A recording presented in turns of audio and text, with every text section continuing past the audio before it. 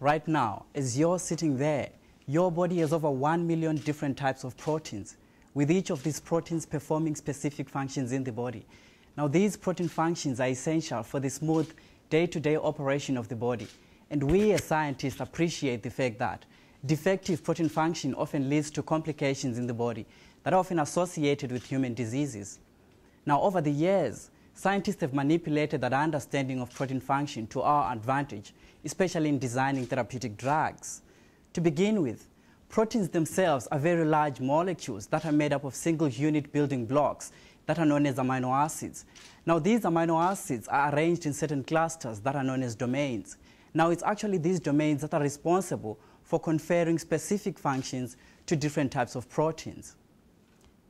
Now, for example, you can have a protein within the bloodstream that is responsible for the uptake of oxygen.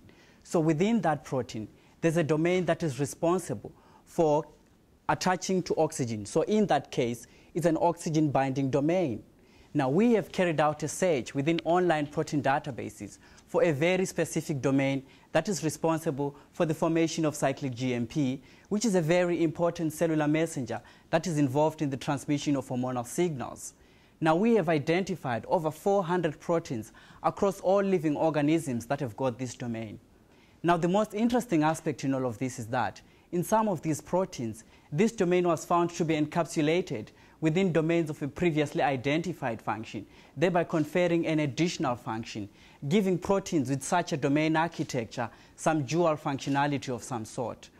Now, the existence of such a phenomena within living systems has evaded the eyes of researchers for quite a long time now, and it's only until now that we are slowly coming to appreciate its existence.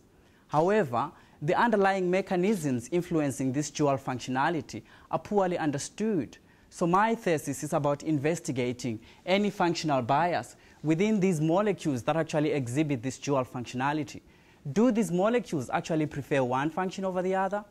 Now, the most exciting revelation that I've made in my PhD so far is that a simple molecule such as calcium seems to be influencing this dual functionality. For example, it seems to be shutting down one function and yet at the same time enhancing the other function. Now, I believe that results from this study could actually unravel some of the previously unidentified therapeutic strategies. Thank you.